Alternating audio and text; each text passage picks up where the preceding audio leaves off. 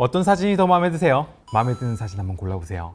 네, 왼쪽이 갤럭시고 오른쪽이 아이폰입니다. 이건 뭐 취향에 따라 갈릴 수 있는 문제 같죠? 그럼 이거는요? 어느 게 더 마음에 드세요?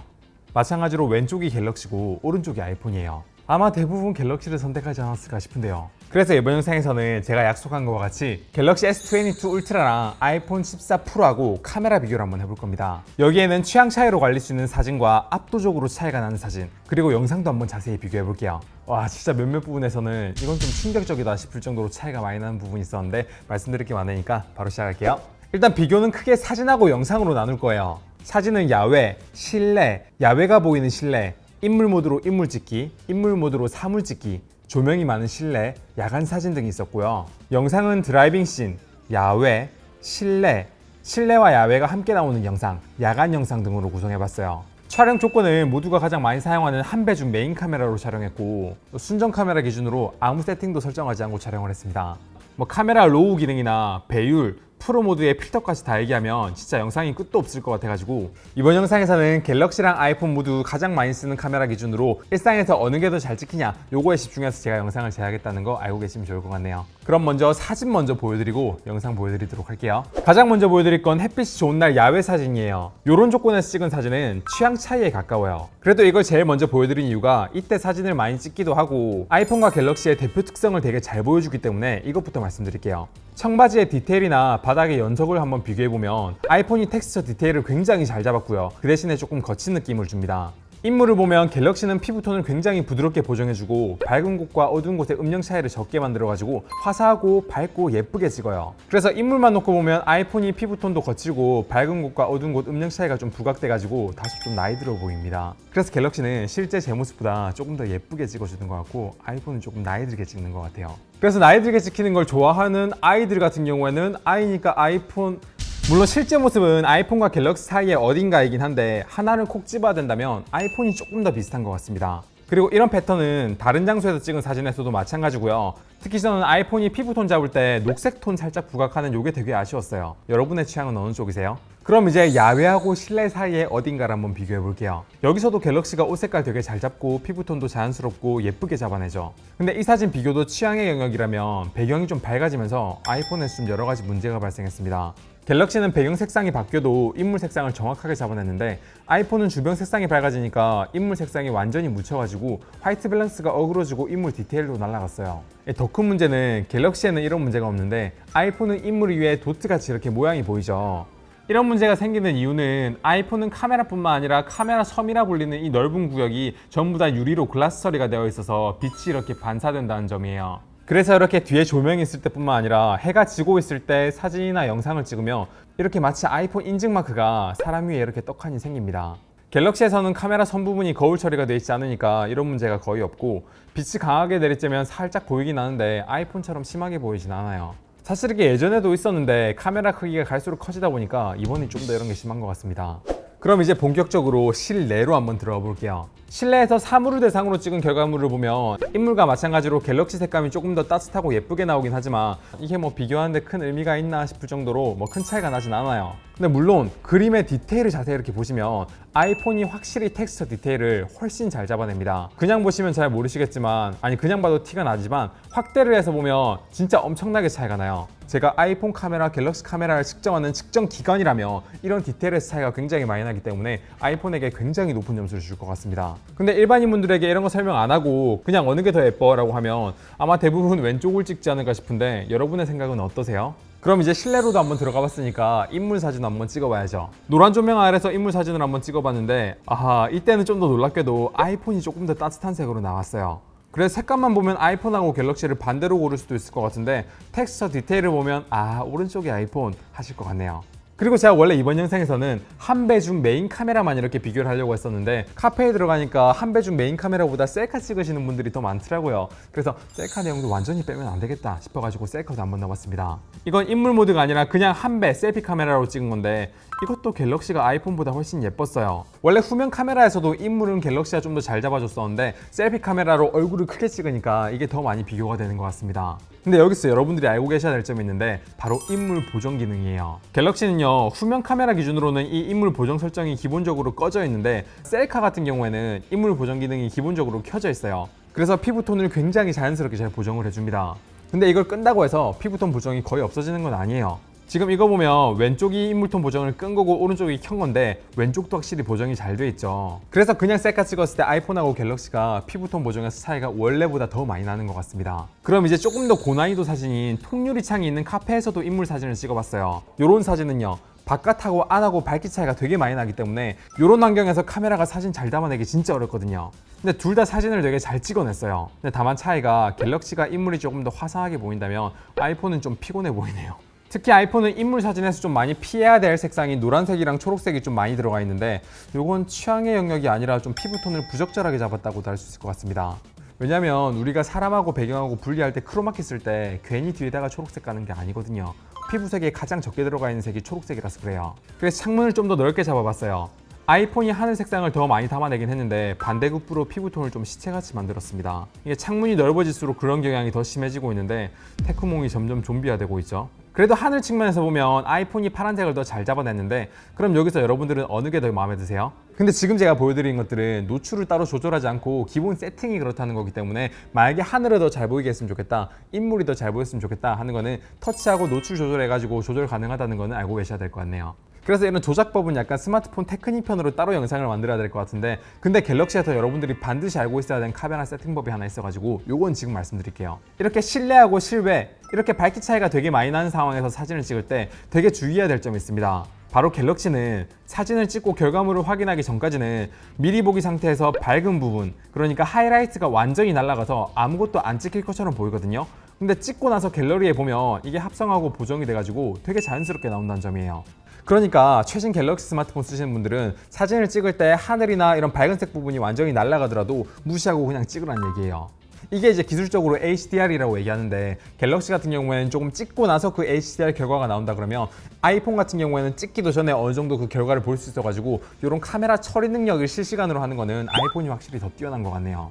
그럼 이제 여기까지 보셨으면 아 그래 인물 사진 색감 갤럭시가 잘 잡는 건 알겠다. 그러면 사물 같은 경우에는 어때? 라고 할 수도 있죠. 그래서 제가 빵을 하나 주문해가지고 이렇게 잘라서 찍어봤습니다. 어때요? 어느 빵이 더 맛있어 보이나요? 이게 팥하고 딸기잼 색상을 보시면 좀 구분이 될 건데 왼쪽 팥은 좀 맛있어 보이고요. 오른쪽은 조금 상한 것 같지 않나요? 네, 예측한 거와 같이 왼쪽이 갤럭시입니다. 그리고 실내에서 여러 가지 피사체를 놓고 터치로 이렇게 포커스 전환하는 것도 한번 비교를 해봤는데 여기에서도 갤럭시랑 아이폰에서 꽤 큰 차이가 있었어요. 그냥 두 개 다 거리가 좀 비슷하고 좀 멀리 떨어져 있으면 사실 별 차이가 안 나거든요. 근데 하나가 이렇게 좀 가까이 있고 하나가 좀 멀리 떨어져 있으면 갤럭시는 포커스 전환이 정말 부드럽고 빠르고 정확했어요. 근데 아이폰은 포커스가 전환되면서 동시에 카메라가 막 전환되기도 하고 그 와중에 포커스를 막 잃기도 해가지고 아 진짜 예전에는 스마트폰 카메라 갤럭시가 포커스 진짜 못 잡았었는데 포커스 진짜 좋아졌다라는 생각이 들었습니다. 그래서 여기까지 보셨으면 아 이번에 테크몽이 작정하고 아이폰 깔려고 영상 만들었나? 라는 생각이 드실 때도 된 것 같아요. 근데 아직 영상 안 끝났습니다. 아이폰이 갤럭시보다 훨씬 좋은 사진 use case 말씀드릴게요 이렇게 야외에서 인물 사진을 찍을 때 인물을 자동으로 인식해가지고 포커스 맞추는 기능은 아이폰이 갤럭시보다 훨씬 뛰어났어요. 이렇게 밝은 장소에서 인물이 작게 차지하는 경우에는 아이폰은 인물 포커스를 놓친 적이 없었는데 갤럭시는 이렇게 놓쳐버렸죠. 물론 이런 상태에서도 갤럭시를 얼굴 한번 터치해주면 바로 포커스 잡으니까 사실상 사용 방법만 알면 실패하지 않으실 수는 있긴 한데 어쨌든 그냥 찍으시는 분들이 훨씬 더 많을 테니까 이런 거에 있어서는 아이폰이 훨씬 더 나았습니다. 그리고 이렇게 파란 하늘을 정말 넓게 찍으니까 아이폰이 갤럭시보다 전체적으로 좀 밝게 찍는 게 눈에 띄네요.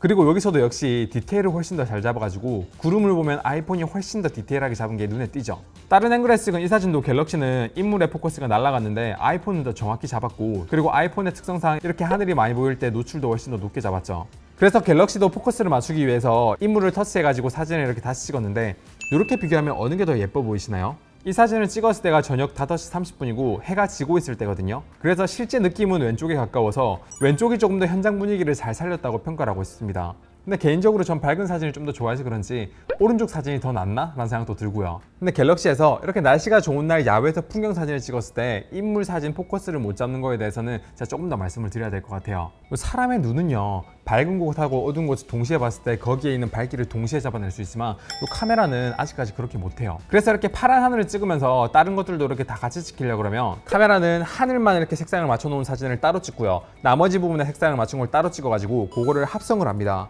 그게 이제 HDR이라고 하거든요. 그래서 결국 이런 사진을 찍으려면 셔터 버튼을 눌렀을 때 찰칵 소리는 한 번 나지만요. 실제로는 여러 장을 찍어가지고 합성을 하는 겁니다. 다만 이제 그게 굉장히 빨라서 많은 분들이 못 느끼는 거죠. 근데 여기서요 갤럭시의 HDR 합성 알고리즘이 아이폰보다 좀 많이 부족한 것 같습니다. 그래서 이렇게 야외에서 찍은 사진을 보면 분명히 멀쩡히 밝은 곳에서 잘 찍었는데 마치 손떨림이 발생한 것처럼 보이죠. 이게 전형적으로 HDR 합성이 잘 안 됐을 때 발생하는 문제입니다. 물론 이제 갤럭시에서 사진 찍을 때 얼굴을 직접 터치하게 되면 이 부분은 합성할 때 주의해야 돼 라는 거를 카메라에게 알려주다 보니까 결과물 봤을 때 그렇게 이상한 건 없는데 그냥 막 찍었을 때 갤럭시가 때때로 이렇게 흔들린 영상처럼 보이는 경우가 발생할 수 있다는 것 자체가 문제예요. 그리고 얼굴을 터치를 해도 지금 합성을 어떻게 할까 막 고민하면서 색감이 막 바뀌는 게 보이시죠? 이게 이제 HDR 합성 알고리즘이 아직까지는 좀 부족하다는 얘기입니다. 이렇게 똑같은 장소에서 사진을 찍었는데 갤럭시는 흐릿하고 아이폰은 선명하죠 물론 이제 갤럭시의 합성 알고리즘이 좀 부족하니까 사진을 찍을 때 나실지라도 조금 더 손을 덜 흔들리게 찍으면 결과물이 좀 더 좋긴 합니다. 그래서 그런 식으로 갤럭시의 풍경 사진에서 조금만 주의하면 되긴 되지만 어쨌든 막 찍었을 때 아이폰이 풍경 사진이 잘 나올 확률이 훨씬 더 높다는 얘기예요 근데 이렇게 합성만 엉그러지지 않으면 갤럭시가 마찬가지로 색이 진하고 그래서 더 좋아하는 분들이 많을 것 같은데 어느 사진이 더 예뻐 보여요? 여기서도 구름의 디테일을 보면 와 확실히 아이폰이 디테일을 진짜 잘 잡는다 라는 걸 알 수가 있는데 어느 게 더 예쁘냐 라고 하면은 왼쪽이 더 예쁘다고 하시는 분들이 많을 것 같습니다 그래서 약간 색감의 갤럭시, 디테일의 아이폰 이런 느낌이 좀 드네요. 이제 인물 모드로 넘어가 보도록 하죠. 아이폰과 갤럭시 모두 기본 카메라 인물 모드는 진짜 훌륭합니다. 인물을 잡을 때 둘 다 흠잡을 데 없이 정확하게 인물을 잡았고요. 배경과 인물 분리도 되게 잘했습니다. 제가 이렇게 계단에서 찍은 이유가 거리가 점점 멀어짐에 따라서 점점 더 흐릿해지는 걸 정확하게 잡아냈냐? 이걸 체크하려고 계단에서 찍은 건데 둘 다 너무 잘했죠 다만 피부톤하고 색감은 기본 카메라에서와 마찬가지로 갤럭시가 더 나아 보입니다. 근데 인물 모드로 사물을 찍게 되면 둘 다 조금씩 부족한 부분이 보여요. 갤럭시 같은 경우에는 측면은 되게 잘 땄는데 윗면을 조금 부족하게 땄고 아이폰은 윗면은 잘 땄는데 측면이 조금 부족하죠 물론 여기서도 빵의 색감은 갤럭시가 훨씬 더 예쁘게 잡았네요 그럼 이제 야간 사진으로 한번 넘어가 볼게요 아이폰과 갤럭시 모두 야간 사진이 진짜 훌륭합니다 근데 확실히 여기에서도 두 개가 사진을 처리하는 방식이 좀 달라요 아이폰은 야간 사진을 실제보다 조금 더 밝게 찍는 경향이 있고요. 문제는 이제 어두워야 할 부분까지 이렇게 좀 밝게 만들어 버리긴 합니다. 특히 이렇게 뒤에 밝은 조명이 있는 경우에 더 그런 경향이 있어요. 이렇게 야외 풍경 사진을 찍어도 아이폰은 배경을 꽤나 밝게 찍어내요. 그리고 동시에 어두워야 할 부분까지 꽤나 밝게 올려 찍죠. 건물 조명 색상을 보면 갤럭시가 훨씬 더 알록달록하고 눈에 보이는 색하고 좀 비슷하게 찍어내는데 아이폰은 이런 색을 잘 분리하지 못했습니다. 지금 이 사진은 오른쪽 위에 빛이 보이긴 하지만 그림자 때문에 실제 장소에서는 빛이 거의 없는 장소였거든요. 근데 이 정도까지 찍어낸 건 진짜 대단한 거예요. 자 그럼 이제 사진은 여기까지 하고 영상으로 한번 넘어가 볼게요. 영상은 모두 4K 30프레임으로 촬영을 했어요. 차 안에서 이렇게 건물로 들어가는 순간에 이렇게 찍었거든요. 이 상황을 찍은 이유가 이렇게 밝기가 급변하는 상황에서 얼마나 노출을 자연스럽게 잘 잡아내느냐 그리고 포커스를 얼마나 잘 잡느냐 흔들림 보정은 얼마나 잘 되느냐 이런 걸 보려고 이걸 찍었는데 흔들림 보정하는 수준은 별 차이가 없어 보이고 둘 다 노출 보정은 너무 잘했습니다. 근데 포커스가 갤럭시가 조금 더 잘 잡아냈어요. 좀 더 넓은 부분에 포커스를 맞췄고 포커스가 날아가는 부분이 적었어요. 아이폰은 마치 앞에 있는 자동차 앞유리 windshield glass에 포커스를 맞춘 것 같긴 한데 그렇다고 하기엔 제가 찍고 싶었던 거는 원래 그 뒤에 있는 것들이라 이런 걸 좀 제대로 못 잡아내는 거 보고 한편으로는 아쉬웠고 한편으로는 갤럭시가 뒤에 거 너무 잘 잡아내는 거 보고 놀랐습니다. 그리고 앞에 사진에서 보여드렸던 그 조명 앞에서 이렇게 영상을 찍어봤을 때도 사진하고 비슷한 결과가 나왔습니다. 갤럭시의 피부톤이 훨씬 더 자연스럽고 예뻐 보였어요. 근데 아이폰은 여기에서도 마찬가지로 고스트 현상이라고 불리는 빛 반사가 그대로 노출이 되었네요 그리고 야외로 나가 찍어 보니까 둘 다 괜찮긴 한데 여기에서 인물 포커스는 확실히 아이폰이 갤럭시보다 잘 잡았습니다. 이게 이제 사진에서 앞했던 거와 비슷한데 얼굴이 좀 작게 잡혀 있으면 갤럭시 같은 경우에는 간혹 그걸 놓쳐요. 근데 그 외에 계속 보고 있으니까 그렇게 큰 차이가 있나? 라는 생각이 들었고요. 오히려 얼굴의 밝기 부분에 있어서는 갤럭시가 좀 더 낫나? 라는 생각도 들었고 약간 취향의 영역으로 다시 넘어가 버렸습니다. 다시 실내로 가볼게요 야외가 보이는 통유리 카페에서 영상을 찍어봤는데 아이폰이 갤럭시보다 얼굴을 선명하게 잡아요. 배경에 하늘색을 날아가 버릴 정도로 전체적으로 밝기를 올린 것 같은데 그런데 의외로 얼굴은 실제보다 어둡게 잡아냈어요 갤럭시든 아이폰이든 둘 다 진짜 잘 잡아낸 건 놀랍고요. 그 중에서 갤럭시가 이 정도까지 영상이 좋아졌다고? 라는 생각이 들어서 저 좀 놀랐습니다. 근데 갤럭시에서 영상에서 압도적으로 아이폰보다 떨어지는 부분이 있었는데 바로 동영상 촬영을 하면서 줌을 했을 때예요. 아이폰은 기본 영상 모드에서 줌을 하게 되면 굉장히 부드럽게 작동하고요. 노출도 줌을 하는 거에 따라서 카메라가 변하니까 어쩔 수 없이 변하게 나오는데 굉장히 자연스러워요. 이 정도 노출이나 색감 변하는 거는 뭐 용인해 줄 수 있는 수준입니다. 근데 갤럭시는 이 전환 과정이 부드럽지 못해요 물론 이제 프로 동영상 모드 가가지고 부드럽게 이렇게 줌할 수 있는 모드가 있긴 한데 이번 영상에서는 그냥 많은 분들이 사용하시는 일반 모드 기준으로 비교를 하는 거니까 그거는 배제하고요 그리고 전환이 부드럽지 못한 건 둘째치고 노출하고 색감이 너무 확확 변하고 특히 이제 줌을 하면서 망원 카메라로 변하니까 완전히 이 영상은 망했다 싶을 정도로 영상이 되게 이상하게 찍혔죠. 그리고 또 이렇게 센서 크기가 작은 스마트폰에서 극악인 상황은 바로 야간 영상이죠. 예전에 야간 영상 비교했을 때 갤럭시가 아이폰보다 압도적으로 안 좋았잖아요. 비교하기 민망할 정도로. 그래서 그런 거 감안하고 이렇게 영상을 찍어봤는데 어, 생각보다 갤럭시가 좋아져서 놀랐어요. 물론 여기서도 아이폰은 텍스처 디테일이 뛰어나고 노이즈가 더 적었지만 어, 갤럭시 진짜 의외로 선방하지 않나요? 이 정도면 이제 취향의 영역이라고 우겨도 될 정도까지는 아니고 아이폰이 야간 영상은 확실히 좋습니다. 가까운 곳이 아니라 먼 곳으로 보면 더 잘 느껴져요. 갤럭시는 울렁거리고 노이즈도 되게 많죠. 확실히 야간 영상의 경우에는 아이폰이 갤럭시보다 낫습니다. 자, 그래서 여기까지가 제가 준비한 아이폰 14 프로와 갤럭시 S22 울트라의 카메라 비교였어요. 한 4, 5년 전까지만 해도 갤럭시에서 좀 비교하기 민망할 정도로 아이폰이 좋았어요. 근데 한 3년 전부터인가 갑자기 갤럭시가 좋아지기 시작해가지고 사진은 갤럭시, 영상은 아이폰, 사진은 근데 갤럭시 아이폰 애매하다 뭐 이런 느낌까지도 들었는데 이제 갤럭시 사진이 진짜 진짜 좋아졌고요. 영상도 이제 아이폰이 갤럭시보다 무조건 좋다라고 하기 좀 그렇다 싶을 정도로 갤럭시가 굉장히 성능이 좋아졌습니다. 오히려 영상에서 갤럭시가 아이폰보다 더 나을 때도 있었어요.